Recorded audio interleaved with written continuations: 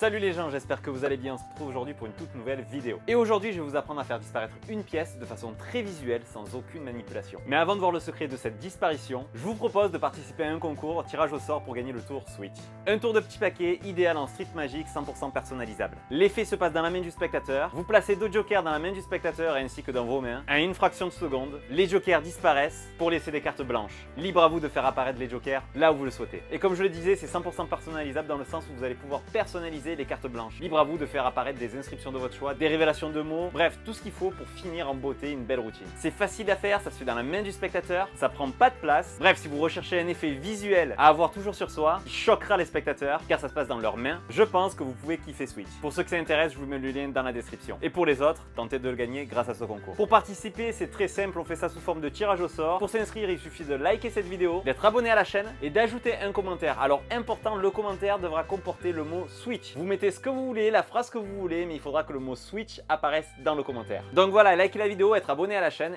et mettre un commentaire avec le mot Switch, peu importe celui de votre choix. Sur ce, je vous laisse avec l'explication de la disparition que je vous ai présentée en début de vidéo. Allez, c'est parti Allez, on se retrouve pour les explications de cette disparition et réapparition de pièces. C'est très simple, vous aurez besoin d'une pièce et d'un morceau de ruban adhésif. Alors vraiment, c'est très facile. Vous allez prendre le morceau de ruban adhésif et vous allez le scotcher comme ceci sur la pièce, donc à peu près la moitié de la pièce, ici. Voilà. Il faut qu'il y ait un petit morceau qui dépasse. Et là, regardez bien, vous allez poser ici comme ceci. Il faut que vous décollez un petit peu pour qu'en fait, il y ait un petit espace qui va se créer. Donc je vous montre ici pour que la pièce reste vraiment à, 90 degrés. Donc il ne faut pas que ça aille jusqu'au bord parce que sinon ça va tomber. Il faut que vous décollez un petit peu. Comme ça, quand ça va être comme ceci, vous voyez, on a ce, le scotch qui est collé ici vraiment sur le dessus, là en, pente. Et du coup, la pièce reste à 90 degrés. Vous arrivez ici, vous pouvez vous montrer euh, la face, donc les spectateurs sont en face comme ceci. Vous flashez ici, vous mettez la, la, pièce dans la main.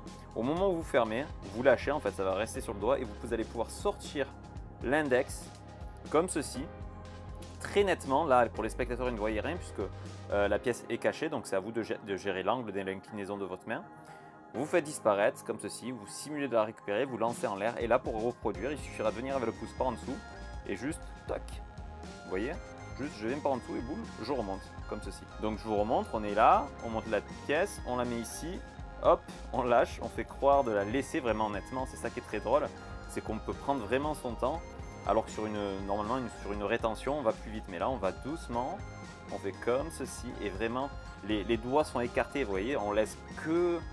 On, peut montrer vraiment que c'est vraiment très net, puisqu'on laisse tous les doigts hein, vraiment, euh, vraiment écartés, l'index est là, tout est écarté, on ne peut pas penser à un empalmage, pourtant la pièce disparaît, et ensuite on la produit, boum, comme ceci. Et là, si on veut la donner à au spectateur pour qu'il euh, il la regarde, dans le mouvement de la transférer ici, je viens ici et hop, je décolle tout en faisant tourner la pièce. Et je peux donner et je garder le, morceau de scotch et rester euh, donc du coup enroulé à mon index ici et je peux tendre ça au spectateur. Donc voilà une petite astuce pour ceux qui ne veulent pas du tout manipuler mais qui cherchent un moyen de faire disparaître une pièce très facilement et de façon très visuelle et très convaincante. Donc voilà, entraînez-vous devant un miroir et je suis sûr que vous allez réussir à faire ce petit effet très facilement.